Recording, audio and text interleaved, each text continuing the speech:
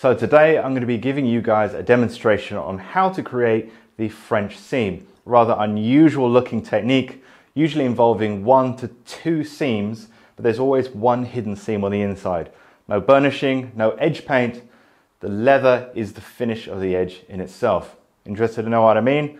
Well, let's take you through a step-by-step -step process on how it's done. To see what it looks like, this is a product with a French seam along the top. As you can see, the edge is just pure leather. There's no stitch along the top. Well, there is, you just can't see it. So let's show you the mystery stitch, the hidden stitch on the inside. Now I'm gonna go live on Instagram to take some questions from people over there. If you're not on Instagram, at Leathercraft Masterclass, link in the description below if you wanna follow me there because you're missing out on a ton of free content also available over there. So don't forget to go over and give me a follow. In the meantime, let's go live and say hi to a few folks. Okay, so whenever you create a French seam, you're gonna need an exterior leather and you're also gonna need a lining leather because this edge actually originates on the outside of the leather and goes over, in and out, almost like a snail around itself and over the top down onto the inside. So for example, on this little uh, card holder here, you can see the leather on the outside, which is a dark navy blue goat skin, actually ends up going all the way down the inside to make up the lining. So it's the lining and the edge all at the same time. So you're going to need your main leather. And I've just got a, a piece of uh, vegetable tan leather here, it's about three millimeters thick piece of leather. Hello on Instagram, all you guys. And I've also got a lining piece. Now this is about 0.8 millimeter uh, soft lamb skin. Might be a little bit thick for this purpose. 0.6 to 0.8 is uh, what I would use.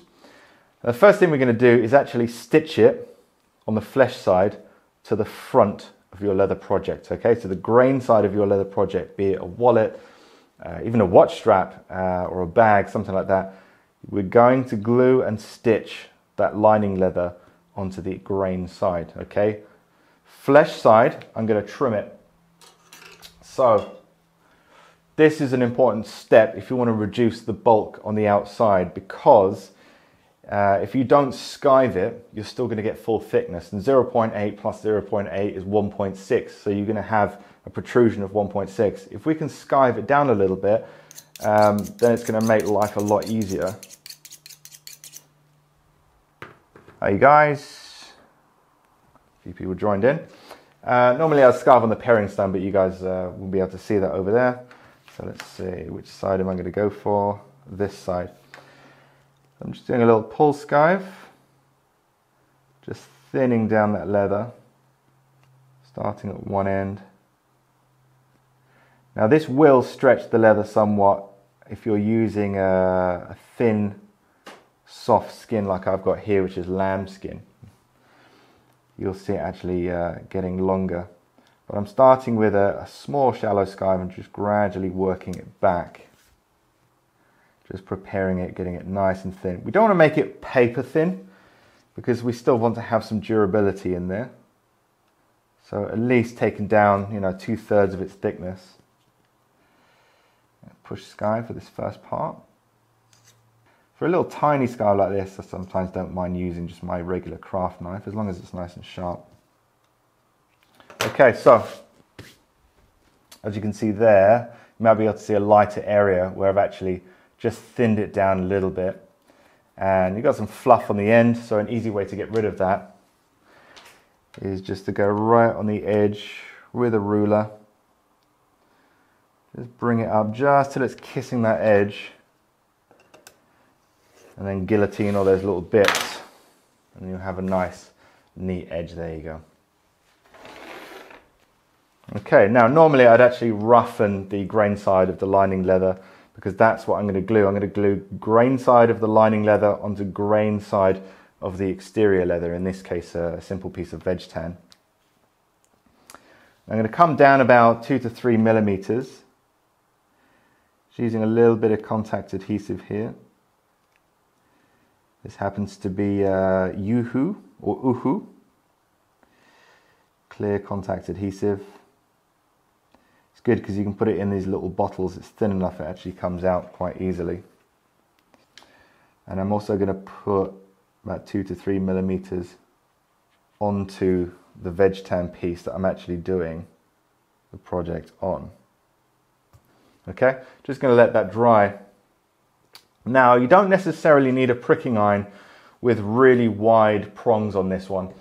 And I'll tell you why is, is when you, after you stitch this down and you've marked it through with your pricking iron, you're going to be pulling the leather tight against your stitches or reasonably tight against your stitches. And if there are big slits in the lining leather at the same time, you're going to see that on the outside. So in fact, what you really want is one of those really kind of cheap eBay uh, stitching prongs or stitching chisels, as should I say. So like these things, okay? Remember these? All over eBay. Yeah, they're really cheap. They're absolutely ideal for this. I'm just gonna grab pricking iron and a hammer, and you know what? So I can go all the way through, because this work surface is a bit too hard. Just use a little bit of MDF, simple solutions. Okay, so now that's dried, these two parts are dry. I'm gonna take the edge on the piece of lambskin. I'm gonna match it up to the edge on the piece of veg tan as well. So it's gonna be edge to edge, okay?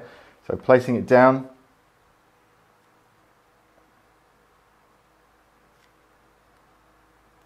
bringing it along.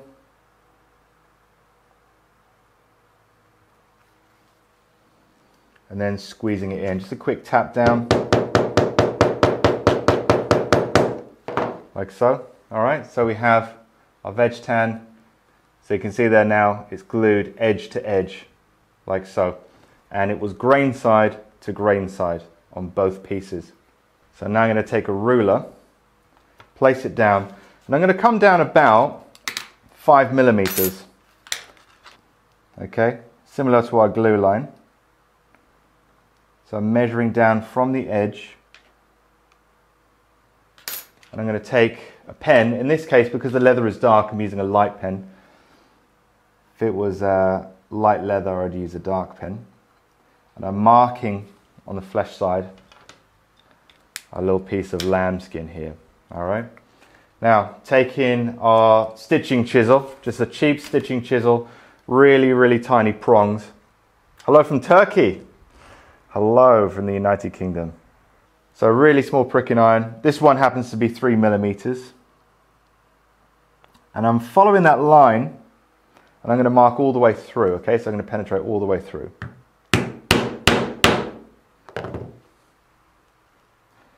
Okay, stitching chisels that are inexpensive, aren't the easiest to pull out.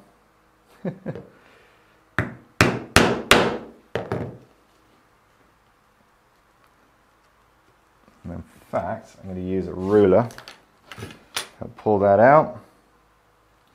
They're very thin prongs.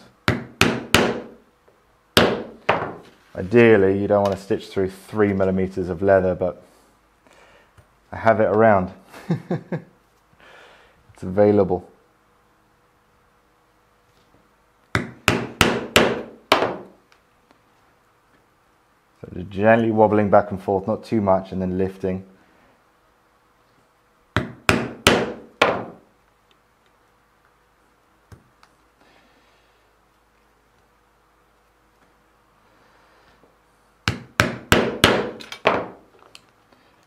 Okay. Now I'm going to do one more in the end there. So right now, you might be able to see that little white line across there. I've put holes through all the way and you might be able to see all the holes on the rear side, these little three millimeter holes. Let's move this forwards. There you guys, thank you for joining. And I'm placing it now in the stitching clamps. And I'm going to tighten that up. And the thread that I'm using, this is actually just some Gutermann uh, extra strong thread, Gutermann M782. It's for hand stitching or machine stitching, but it's very thin, yet very strong polyester thread. And I'm simply going to stitch this from one end to the other. The reason you want thin thread is normally the lining uh, and the binding leather for French binding is reasonably thin. So if you're using thread that's too thick, what can tend to happen is uh, you'll see these ripples on the other side when you've actually completed your project,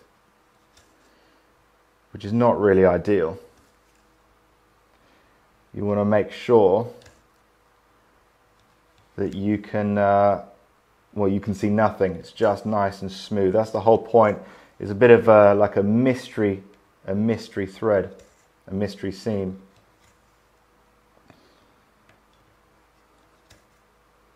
But at the same point, the same thing, you don't really want to go too thin. If you are using this as a lining on the inside of a project, you don't want it to be too delicate. If it's a glue-in lining, as in you're gluing, going over the edge and gluing the lining on the inside of the project fully, then you can go a little bit thinner. But if it's loose, for example, a small bag, something like that, then uh, you always want to make sure you have enough thickness.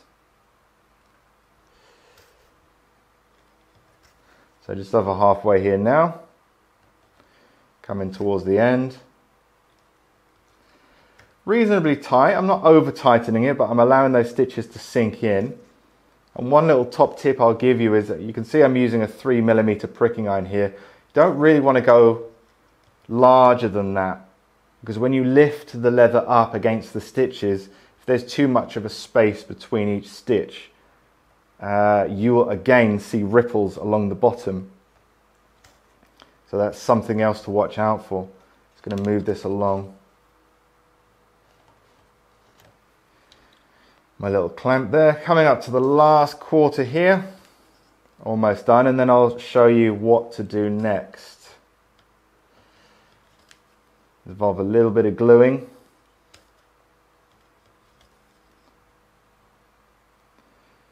Almost at the end, a few more stitches to go. I'm using a light thread here. Uh, normally I'd use a, you know, if I'm using a black lambskin like this, I'll be using black thread to match it. Um, but I'm using white so that it will actually show up on camera and you guys can see it. Otherwise it wouldn't be much of a demonstration if you can't see what's going along at the very least. Now, if, uh, if you really want to do this and you're finding it's, uh, I'm going a little bit too fast here, I do have a course on the Leathercraft Masterclass, the techniques of hand stitching. It was in fact the first course I ever produced. And uh, I do this in depth on there. A little bit slower. Push for time on this live, so. okay, a couple of back stitches there. You don't have to do anything with them afterwards because it's all going to get glued in. So let's have a little look and see where we are at the moment. So there we are. So you might be able to see those little stitches there. And on the rear side, just about. I'm still going to tap those down, however. I don't want to leave them proud. And we're not looking for angles at all. We're looking for uh, straight stitches, okay, reasonably straight. Now, for all those of you who uh, saw my recent post that I did, I'll show you some other types of stitching I recently created a course which is kind of like part two of the techniques of hand stitching with some more advanced work in there. And you'll see here, this is a regular, looks like a regular seam, nice high angles on there. But on the rear side, you'll notice it looks very different. Okay, the stitches look much longer. This is actually a really good one to use with thin skins because these stitches are twice as long as normal, yet these are regular stitches, okay? And because these stitches on the back are twice as long, it puts half the stress on thin, delicate skins, allowing you to get much more durability just from this different stitch rather than a, regular saddle stitch with the right tension can actually begin to cut through, okay, or wear it out. This is a, a, strange one, if you can see that on camera there. This is actually an alternating color stitch. So you've got red, green, red, green, red, green, red, green, all the way along. It's a really cool one because you can play around with uh, different colors to match different colors on your project. You might have two colors on a bag, for example, or a wallet. the inside and the outside, and it's sometimes nice to add a little detail of adding a little pop of color there to match those. But the great thing about this is it proves that it's done by hand rather than a machine because a machine can't go in and out like a weave, uh, whereas we can doing hand stitching. So something to tell your customers, it's a, a sign that you're actually hand stitching. This specific, type of stitch is still considered a saddle stitch. It's just modified for two colors. Uh, this one, probably my favorite one. If you can see that seam there, or on that side. No? Okay. Where it's actually invisible. Okay, it's the blind center stitch. The stitch is actually on the inside. Very strong, very sturdy, and you can't wear the thread out because it's not exposed to the outside. Uh, the great thing about this is not only is it blind, it allows you to have more of a minimalist look on your projects, but uh, it allows, especially if you've got some really grained leather, highly detailed, some really nice part that you want to showcase. Maybe it's uh, exotic skins, for example, as well. Could use that. Um, it really allows the leather to take center stage rather than the stitching technique. So you can do a project that's fully blind stitched like this, or you can do a project that's part blind stitched. So it's a really cool one. I've just gone ahead and burnished the edge on this one a little bit just to, uh, to finish the edge. And the last one I show you is the wrap stitch. This actually has roots in embroidery. Difficult to see there, but there's actually a brown piece of thread underneath all those stitches running along. And it gives almost a like a candy cane look to it. It's really, really interesting. But it also allows the leather to last a little bit longer or that prevents the stitches from cutting into the leather because you're reinforcing underneath each individual stitch. So that is coming out tomorrow tomorrow. Okay, that course will be landing. So don't forget to check that out. So let's carry on with our main project, which is French binding. First thing I'm going to do is grab a number three, as kind of a medium uh, edge beveler. I'm just going to nip the edges off on each side. That gives them more of a, a rounded, smoother transition as it flips over. And what I'm actually going to do is uh, use a little bit of PVA, a little bit of PVA glue. Grab a brush. And I'm going to apply glue to this side, so the, gray, the uh, flesh side of the lining, the top and the rear at the same time. Okay? If you're doing a glue in, that's what you want to do. If you're not doing a glue in, as in you're only gluing up to the stitches and then you're going to let it loose after that, perhaps you're doing the inside of a bag for a pocket, um, just glue up to the rear side of the stitches and that's it. So I'm going to use the big brush here.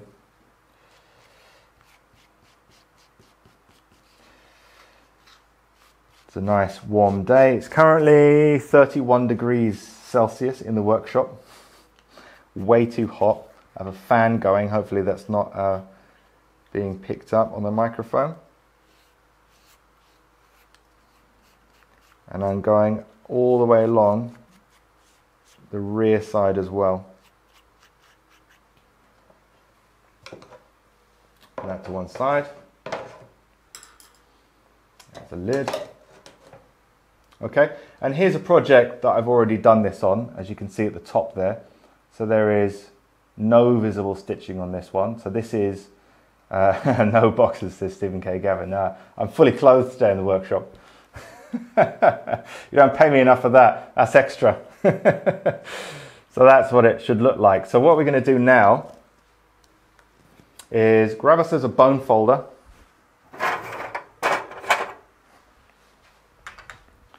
We're going to lift the leather up so you can see the stitches here. Lift it up, okay, like so. I'm going to face it down even though I've put some glue on that side. And I'm just going to rub back and forth, turn it so I can see it. Rub it back and forth up against the stitches. I can feel the stitches are stopping the bone folder going any further. Add a little bit of tension and then begin to press down. Okay, I'm happy with that and how it looks because I can undo it because it's PVA. Someone mentioned, uh, do I have air conditioning in the workshop? The thing is, the UK is weird. Last summer, there were maybe one, two, or three days where it got really hot in the workshop during the day, like peak times. It's not really worth getting a unit in here. But this summer has just been absolutely non-stop. So the UK normally doesn't really justify air conditioning.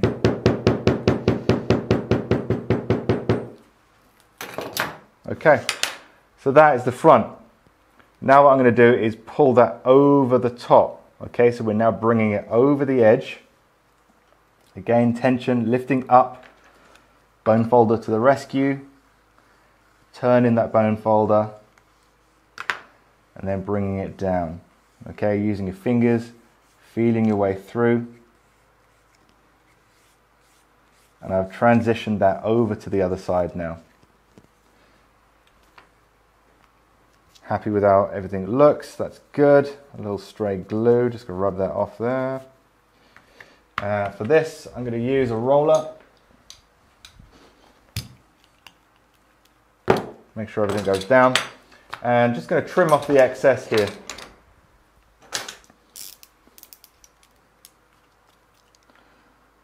So we can now get rid of that.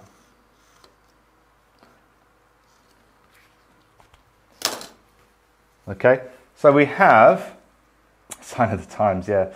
So we have our stage one French binding, okay? So we stitched it grain side onto grain side, and then we wrapped it around the stitches over the edge and down onto the rear side. So that's a stage one. What's stage two? It's a good question. Let's nip that in a little bit more. Compress it down. In fact, I'm going to roll that fire edge. Get it nice and neat. Okay, stage two is, is an optional stage. This is where you actually finish a stitch underneath that goes through to this side. So if you were going to leave this lining loose, as in you were going to add a pocket or something on the inside of the bag, you probably wouldn't want to leave it like this because eventually the glue can actually peel off and that's something you want to avoid. So this is like a reinforcement for that. So it does mean that you're double stitching, but it can actually look really effective. So let's grab ourselves a pricking iron. And just for speed, I am going to go all the way through. And what I'm doing is I'm taking the pricking iron and I'm placing it just off about a millimeter off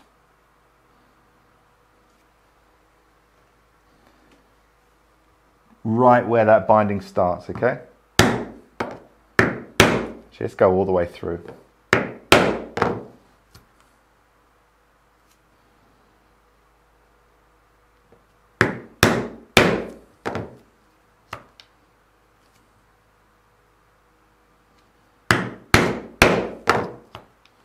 And one more in there. Yeah. We can get one more. So here we are. So we have now some holes, if you can see that, underneath where that binding is. Let's move some of these tools out of the way. Close off our blades.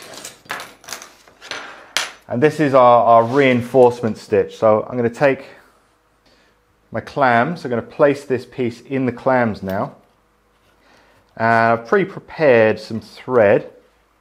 Uh, I've gone for black as well. Normally I don't actually like going uh, dark thread on light leather as a rule. I don't know why. It's just not my thing, man. But it will highlight for you uh, the stitch so you can actually see it in all its glory. Now I'm not going to do a cast on here. It'll be a little bit pointless because you won't be able to see the stitch on the rear side. It's black thread on black leather, so no need.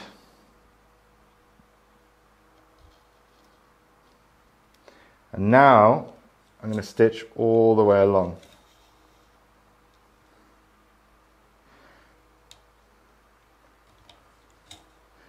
A little bit difficult to see the uh, black thread on the slits on the rear side.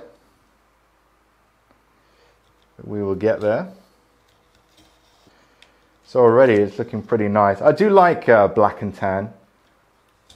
This will look nice. I mean, if it was a product, that is, it would look nice as it ages and that, that light tan turns into a darker tan with, uh, with the black lambskin. You know, pretty much like this. I mean, this is pre-dyed leather, but it's cognac. It's got that black and tan going on, which I really like. Um, although that's actually dark, uh, dark navy.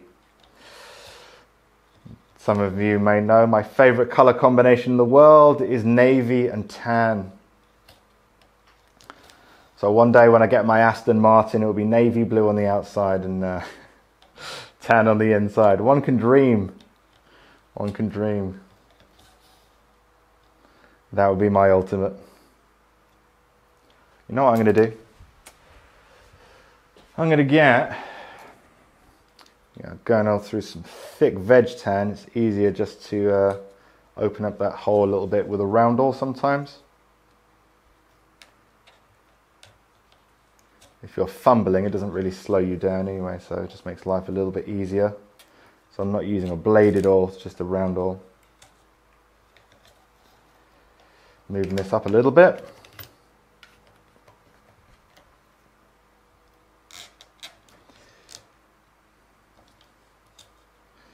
Almost done and then I'll show you exactly what this looks like.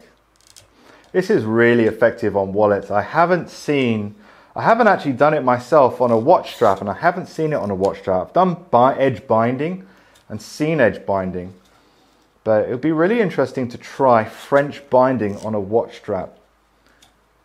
With a raised center, I can imagine that would look very interesting. Easy on card holders, great on tote bags as well. Fantastic technique. And you know what? You can get it done so quickly when you get used to it that, you know, by the time you're done, you would have got your first layer of edge paint on. And you've got something that, in my opinion, looks really classy. And it's natural as well. You're, finishing the leather with leather. And if you're using something that's very durable, goat skin or even kangaroo perhaps, then uh, you know you're creating something that's actually very durable and that will do well. This is definitely where you'd want to use a, a dyed through leather. So that's leather that's been not just surface dyed and it's a different color underneath, but it's the same color all the way through. If you cut a cross section of it, you'll get the same, the same color. Okay, so let's give you a quick demonstration, or not demonstration, let's show you what I've just done. How about that? Use the good English. Quick tappy tap, using the back of the hammer, okay, so the, the shaft end. If you're not sure, uh, another way of doing it is simply using a bone folder, decent amount of pressure, and push it all along. So guys, there we go. This is French binding. So there's a seam underneath which we can't see and there's a reinforcing seam on the outside which we can see. But this lip here, it looks like it could peel off because it, you know, it's just glued, but it's not just glued. Immediately under that end is a strong, tight stitch keeping everything in place. We didn't have to do any edge finishing. I mean, look at that edge. Okay, if that was edge paint, you'd be impressed, right? But it's not synthetic material, it's a natural material, it's a grain. Although lambskin, which is what this is, albeit very, very soft, uh, not the most durable overall, goat skin definitely, which is what I've used on this project. For those of you interested, this is actually a pattern project. It's not a video I created. They're on the website.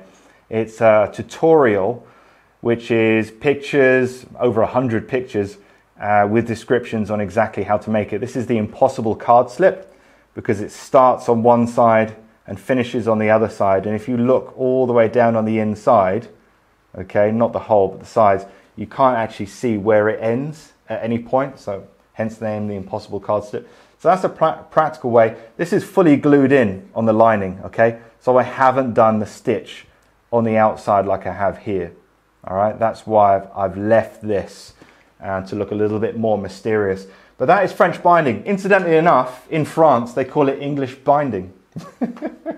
And uh, one of the techniques that I teach in the course,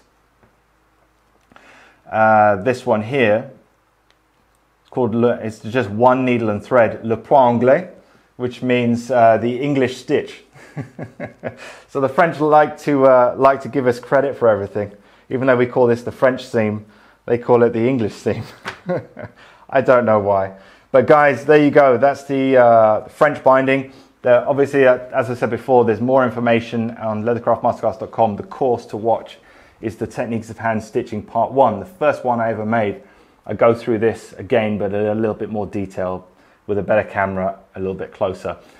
Um, if you want to learn some more advanced techniques, thinking outside the saddle stitch, we have the back stitch or le point anglais, we have the rat stitch, we have the blind stitch, which is a stitch that you cannot see, and also the alternating color stitch, which is a course that will be released tomorrow. Okay. Now, don't forget to check out leathercraftmasterclass.com where you'll get your free tool guides and free leather selection video, which is still available, which will be changing soon, by the way. Uh, we have something else in order. Nice one, Philip. Many thanks to Stephen. Thank you very much. And I will see you all the next time I go live, hopefully soon. Take it easy, guys. Enjoy the rest of your day.